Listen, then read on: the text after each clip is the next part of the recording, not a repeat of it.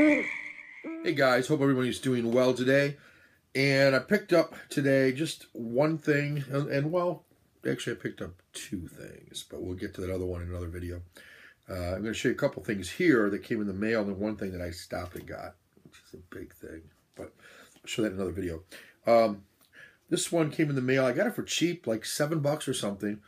It's a flipper disc, but it's uh, Turner Classic Movies Greatest Classic Films Collection uh, presented by Warner Brother Video.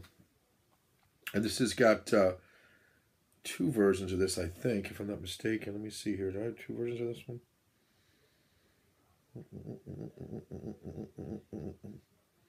No. Uh, this is just the one. This is the one version. All right, so you got four movies here. Uh, the one I was worried about or thinking about was uh, and Hyde. I wasn't sure. This has got the uh, overacted uh, Spencer Tracy version, but it's Spencer Tracy. It'll be good but it's not as good as the earlier version. Uh, Freaks, that's Tod Browning's uh, classic. Todd Browning of the 1931 Dracula fame. But I think, uh, you know, I don't know, I think he might be more famous for Freaks than he is for Dracula. It's hard to say. Uh, the Haunting, which is a 1960 ish, 60 something ish, 63. Uh, Robert Wise directed this first screen version of Shirley Jackson's The Haunting of Hill House.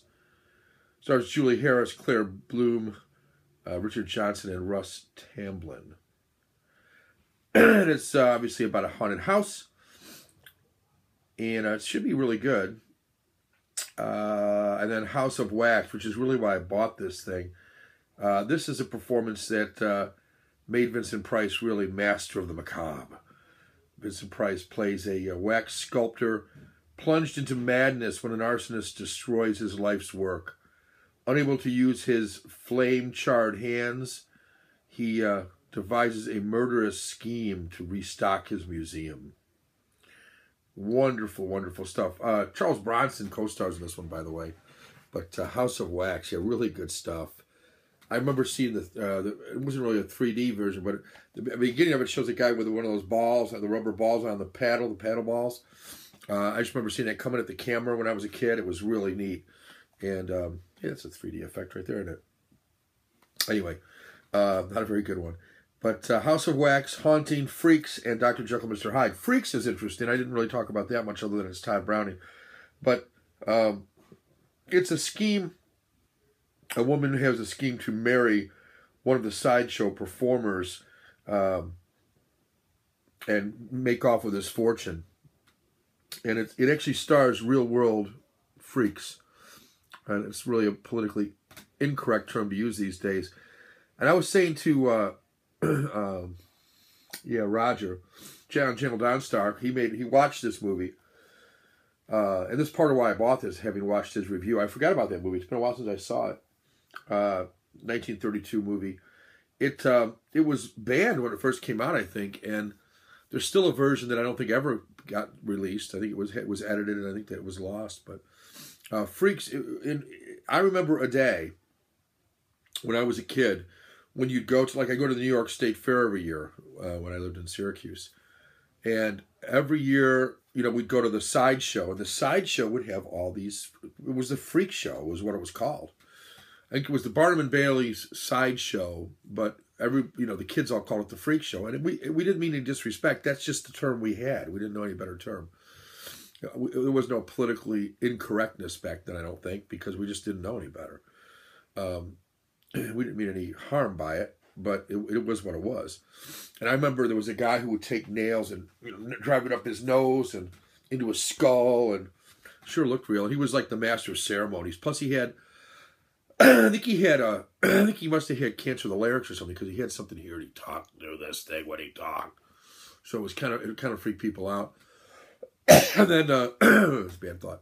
Um, he had the woman with no legs who would be on like this platform with wheels, and she'd come out with her hands, you know, doing one of these things to bring herself. I was really kind of sad if you think about it. But as a kid, as like a nine-year-old kid, it was like, wow, what is this? You know, oh my god, and it was kind of scary in a way. And even though they're real people, you know, you don't really view them as real people when you're nine, and you're paying uh, two dollars to go in and see them. Um, I think that's about what it was back then, or maybe it was a dollar. I don't remember. I just remember my parents handed me a dollar to me going in there with my brother. It was kind of it was kind of spooky. Anyway, so Freaks is on here, and The Haunting, which I've never seen, and then Dr. Jekyll and Mr. Hyde. Everybody knows Dr. Jekyll and Mr. Hyde, uh, Robert Louis Stevenson's tale of a scientist who creates kind of an alter ego of himself using a potion that he that he creates to kind of turn uh, kind of tune into man's uh, more manly side, more feral side, more more hunter, you know, hunter gatherer side, I guess, whatever you want to call it. He's kind of mild mannered initially, and then he becomes obviously something much more than that. And I said, uh, Spencer Tracy's performance in this, as I recall, was kind of a little over the top, both as Jekyll and Hyde, but uh, it works.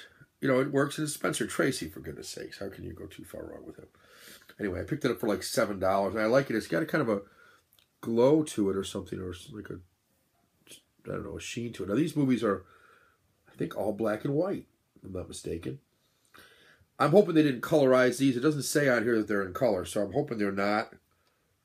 I'm hoping they're all in black and white. I don't have anything on here that tells me that, but I know Turner Classic Movies is, is infamous about turning perfectly good black and white movies into color movies for some reason. I don't know what the attraction is there. I have no interest in seeing any of these in color. Hopefully they're not. No, I don't think so. Looks like it's all going to be in uh, original black and white. Yeah, yeah, yeah. Good. Uh, flipper disc, so there's no really good reason to show you that, but um, there's a bunch of, there is a bunch of uh, stuff on here. There's, there's, um, looks like there's some extras on some of this stuff. Theatrical trailer, at least. Maybe not much more than that, I suppose. Oh, on the Freaks one, there's a documentary, Freaks Sideshow Cinema, a special special special message prologue added for theatrical release. It was kind of cool. Yeah. There's a commentary on the House of Wax, no, on the Haunting by Julie Harris and others. Yeah. Yeah, yeah, yeah, yeah. So that's kind of cool. Anyway, that is those four that I picked up. And thank you, Shout Factory. Um, I got magnets with my uh, one of my one of my purchases from Shout Factory uh, during uh, Shocktober, but the uh, they they came in like this just this floppy envelope, and they had taken the magnets and literally folded them over, and put them in, to fit. Well, they got I don't know what happened. the post office crunched them up and a couple of magnets actually had creases in them, and one of them was actually ripped. The crease was so deep that it actually tore the magnet. Um, and I just wrote them and said, hey, you know, this is not cool. I mean, I know they're free, and I'm not complaining necessarily because it's free, and some of them are still good, but like two of the magnets are creased and one is ripped, and, you know, it's not cool. Um, and they just sent me another one. Obviously, they sent it free, and they flat uh, flat mailed. I'm assuming it's the same magnets. I guess it's only the one kind. But thank you, Shout Factory. That was really nice of you. Classy move. You didn't have to look. They wrote "Do not bend." Do not bend, do not bend on it. So they, they were certainly aware of my predicament. And this is a flat mailer, cardboard flat mailer. Looks perfect. I haven't opened it yet, but it looks like it's going to be very nice. Why wouldn't it be? And then I'm really excited. I, I, can't believe I'm just sitting here not opening this the box I got. I got a huge box today. I'm going to open that in another video, but I'm really excited about it. But um, it's big, but I get a really good deal on it, so I was happy to pick it up. Um, one of my favorite television shows of all time, uh, really, it, and it's to this day I can watch this show and, and really, it's kind of like Friends or for me or All the Family or MASH or The West Wing. There's a handful of stuff that I can watch almost any time and enjoy, and this is one of them. So.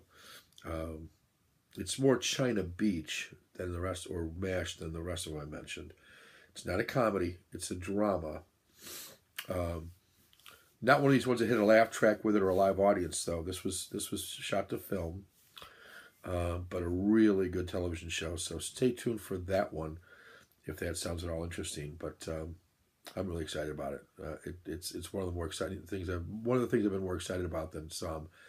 I was really torn on purchasing it. Not not that I didn't want to purchase it, but you know, it's getting closer to Christmas and so on and so forth. I just got a really good deal. So I'm going to sell some stuff on eBay to kind of make up for it. I made some room on my shelf up here for it. one of these shelves over here. I guess someplace I'm going to put it, but you'll see it soon if you if you stay tuned, and I hope you will.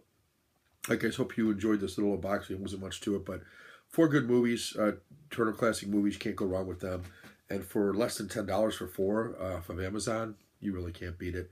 Happy for the DVD. I mean, obviously love Blu-ray, but happy to pick up stuff on DVD from time to time when I get that kind of a good price. All right, guys, take care.